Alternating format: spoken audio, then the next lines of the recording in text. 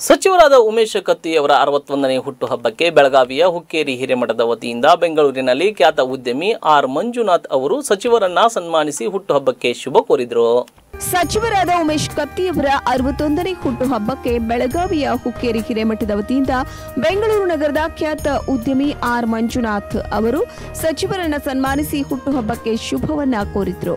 ಈ ಸಂದರ್ಭದಲ್ಲಿ ಮಾತನಾಡಿದ ಆರ್ ಮಂಜುನಾಥ್ ಅವರು, ಉತ್ತರ ಕರ್ನಾಟಕದಲ್ಲಿ ಉಮೇಶ್ ಕತ್ತಿಯವರ ಪ್ರಭಾವ ಎಲ್ಲರೂ ಹೆಮ್ಮೆ ಪಡುವಂತದ್ದಾಗಿದೆ ವೀರಶೈವ ಲಿಂಗಾಯತ ಸಮುದಾಯದಲ್ಲಿ ಇಂತಹ ಒಬ್ಬ ಪ್ರತಿಷ್ಠಿತ ನಾಯಕರು ಇರುವುದೇ ಒಂದು ಹೆಮ್ಮೆಯ ಸಂಗತಿ. ಇವರು ಬೆಳಗಾವಿಯ ಹುಕ್ಕೇರಿ ಹಿರೇಮಠದ ಶ್ರೀ ಶಟಸ್ಥಲ ಬ್ರಹ್ಮಿ ಚಂದ್ರಶೇಖರ ಶಿವಾಚಾರ್ಯರ ಶಿಷ್ಯರು ಆಗಿದ್ದಾರೆ. ಅವರ ಕಾಳಜಿ, ಕಳಕಳಿ ಆ ಭಾಗದ ಅಭಿವೃದ್ಧಿಯಾಗುತ್ತಿರುವುದು ಸಂತಸದ ಸಂಗತಿ ಎಂದರು. ಸನ್ಮಾನವನ್ನು ಸ್ವೀಕರಿಸಿದ ಸಚಿವ ಉಮೇಶ್ ಕತ್ತಿ ಅವರು ಗುರುಗಳಲ್ಲಿ ಅಂತಃಕರಣ ಎಷ್ಟು ಇರುತ್ತದೆ ಅಂದ್ರೆ ನಮ್ಮ ಸಮುದಾಯದ ಒಬ್ಬ ವ್ಯಕ್ತಿ ಸಚಿವನಾಗಿದ್ದಾರೆ. ಇನ್ನೂ ಹೆಚ್ಚಿನ ಕೆಲಸವನ್ನ ಮಾಡಲಿ ಎಂದು ಕಾಶಿ ಕ್ಷೇತ್ರದ ವಿಶ್ವನಾಥನಿಗೆ ಅನ್ನಪೂರ್ಣೆಗೆ ವಿಶೇಷ ಪೂಜೆಯನ್ನ ಸಲ್ಲಿಸಿ ನಮಗೆ ಆಶೀರ್ವದಿಸುತ್ತಿರುವುದು ನಿಜಕ್ಕೂ ಸಂತಸವನ್ನ ತಂದಿದೆ ಎಂದರು ಬೆಂಗಳೂರು ನಗರದ ಆರ್ ಮಂಜುನಾಥ್ ಅವರು ಶ್ರೀಗಳ ಆದೇಶದಂತೆ ಬಂದು ನಮಗೆ ಹುಟ್ಟುಹಬ್ಬಕ್ಕೆ ಶುಭವನ್ನ ಕೋರಿದ್ದಾರೆ.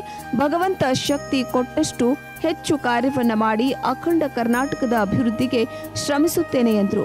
ವೀಕ್ಷಕರೇ, ನಮ್ಮ ಸತ್ಯಂ ವಾಹಿನಿಯ ಪ್ರತಿದಿನದ ಅಪ್ಡೇಟ್ ಮಾಹಿತಿಯನ್ನ ತಿಳಿದುಕೊಳ್ಳಲು ಸತ್ಯಂ ಟಿವಿ ಕನ್ನಡ ಯೂಟ್ಯೂಬ್ಗೆ ಸಬ್ಸ್ಕ್ರೈಬ್ ಹಾಕಿ ಹಾಗೂ ಬೆಲ್ ಐಕಾನ್ ಅನ್ನು ಕ್ಲಿಕ್ ಮಾಡಿ.